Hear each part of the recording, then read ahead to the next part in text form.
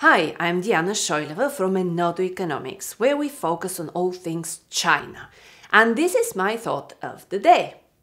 With Chinese equities correcting sharply after a formidable post COVID surge, I thought I'd discuss today three important ways in which trading on the A share market differs from the US market.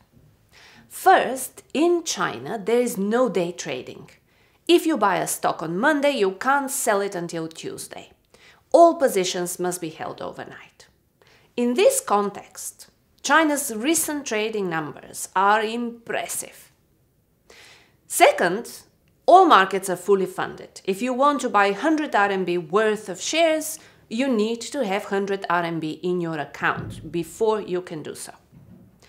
The positive flip side of that is that settlement is almost guaranteed.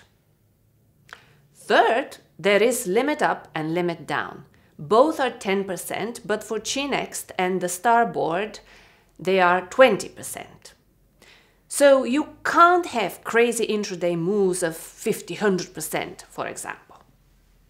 All of this actually means that in China, you couldn't have had the recent saga that was GameStop and Reddit in the US. And for foreign investors, the efficient trading and settlement in China is good news.